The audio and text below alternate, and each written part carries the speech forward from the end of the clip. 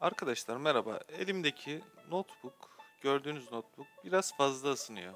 i7 işlemcili, 8. sen- jenerasyon i7 işlemcili, Nvidia GeForce ekran kartlı bir notebook. Bunu oyun, render gibi işlemlerde biraz zorlarsanız ısınmaya başlıyor. Görüyorsunuz burada da 45-46 derecelere hemen çıkıyor. Çok kısa bir süredir bir oyun çalıştırmamıza rağmen. E, Bu notebook'u soğutmak için bir sistem yapmaya karar verdim. Bunun için de bir arkadaşımın Ikea'dan aldığı, 5-10 TL'ye aldığı bir plastik notebook altlarını kullanacağım. E, Bunu biraz modifiye etmeyi düşünüyorum. Plastiği kaliteli, e, işime yarayacak bir altlık. Önce elimde eski bilgisayarlardan çıkardığım bir iki tane fan var. 0.13 amperlik bir fan buldum. E, 0.14 amperlik neredeyse özdeş iki tane fan buldum. Bir tane de server soğutucusundan çıkardığım 0.58 amperlik güçlü bir fan var. Gürültülü ama güçlü. Bunların üçünü beraber kullanmayı düşünüyorum. Tabii ki önce 3 fanı da bir 12 voltla test ediyorum. Kaç amper çektiklerini gerçekte görüyorum. Üçü de çalışıyor. Bu sevindirici bir haber. Daha sonra ölçülerimi aldıktan sonra e, plastik tablo üzerinde değişiklik yapacağım yerleri ölçerek belirliyorum. Önce 3 fan içinde küçük bir delik açıyorum. Mini matkap yardımıyla açabiliriz bu deliği. Adım adım büyütüyorum bu deliği. Daha sonra buna punch dedikleri bir e, alet var. Fanımın boyutuna uygun punch aparatını buluyorum. Bunu matkapla kullanacağız. Matkapla bu tablayı deleceğiz uygun boyutlarda. Uğraştırıcı bir işlem ama düzgün bir delik açtığını söyleyebilirim.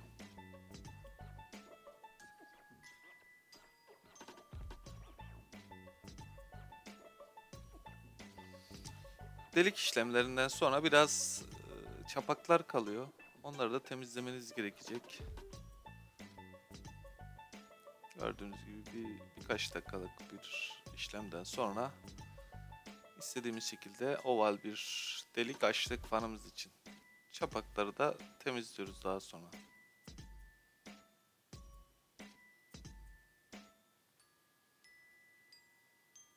Ben 3 fan içinde eşit delikler açtım.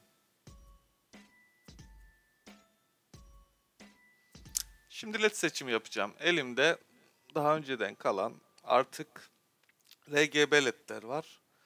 Ve sadece beyaz renk led var. İkisini de deneyip hangisini seçeceğime karar vereceğim. Şöyle bir devre aldım internetten. Yanlış hatırlamıyorsam 7 TL olması lazım. Normal beyaz ledler için animasyon yapıyor ve bir nevi voltaj regülatörü de olarak kullanılabiliyor. Siz 12-24 var arası bir giriş elektrik girişi yapıyorsunuz. Çıkıştan 12 volt çıkıyor. Yalnız bu devrenin e, 5 amper olduğunu okudum aldığım sitede ama öyle bir durum gözükmüyor çünkü fazla ısınıyor. Neyse ki biz yarım amper civarında bir güç kullanacağız. Fanlarımızı temizleyelim. Fanlarımızın etrafına şerit ledlerimizi yapıştıracağız. Bu arada RGB ledleri kullanmaya karar verdim. O yüzden artı bacaklarına ayrı RGB'leri de kontak yaparak yani üçünü birleştirerek eksi bacağa bağlıyorum. Switch için bir delik açıyorum. Bu switch orta fan için yani 0.58 amperlik fan için olacak. Onun sürekli çalışmasını istemiyorum. Şerit ledleri kontrol edecek devrem içinde bir iki tane delik açıyorum. Ledlerimi fanların üzerine yapıştırdıktan sonra sıcak silikon yardımıyla arka tarafa bu fanları yapıştırıyorum. Tabii fanları burada vakum etkisi yarayacak değil de üfleyecek şekilde yapıştırıyorum. Yani etiketli yüzleri notebook'a dönük olacak. Çünkü notebook alt tarafından vakum etkisiyle hava çektiği için onu desteklemesini istiyorum. Bağlantılarımı yapıyorum. Az sonra bu bağlantıların e, Photoshop'ta çizdiğim şemasını, basit bir şemasını da sizle paylaşacağım. Bağlantılar uzun sürdüğü için tek tek anlatamadım bu kısımda. Daha sonra kabloları bir araya toplayıp sıcak silikon yardımıyla sabitliyorum bir yerlere. Bir tane de jack 2,5 milimetre jack e, yapıştırıyorum tablamın soğutucumun üzerine.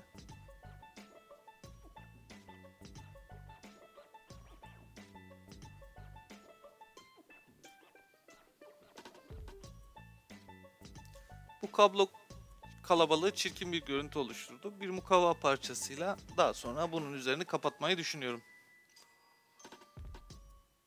Evet 12 voltluk 1 amperlik 2 amper daha güzel olur ama 1 amperlik de yeterli olacaktır bizim için. Gördüğünüz gibi başarılı bir şekilde çalışıyor. Bağlantılar çok basit ama nasıl yaptığımı görmek isterseniz bu esnada videoyu durdurup buradan inceleyebilirsiniz. Son derece basit artılar ve eksilerin nereye bağlandığını gösteriyor.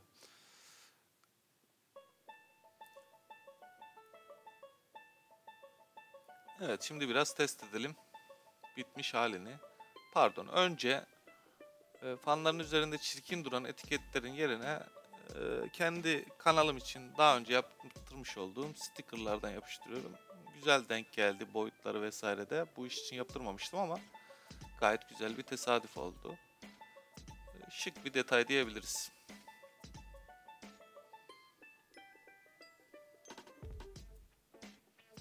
Evet mukavva ile de kablo kalabalığının üstünü kapattım. Hem koruyucu bir etkisi olacak. Sağa sola takılmasını engelleyecek kabloların. Hem de derli toplu durmuş olacak. Evet bu aşamada çekimdeki sesi özellikle bıraktım burada. Ne kadar ses çıkardığını da görmenizi istiyorum.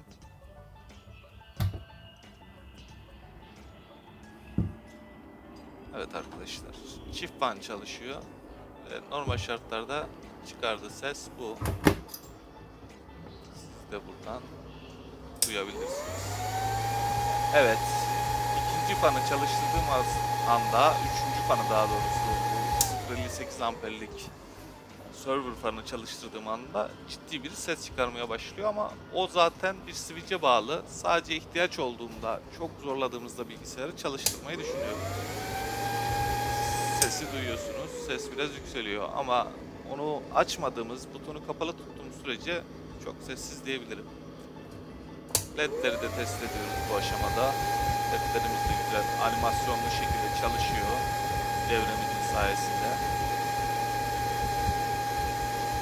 Animasyonları değiştiriyorum. Siz de takip edebiliyorsunuz. Bir de karanlıkta bu animasyon testini yapalım. Gördüğünüz gibi birkaç çeşit animasyon verebiliyorsunuz devrenin üzerindeki düğme vasıtasıyla.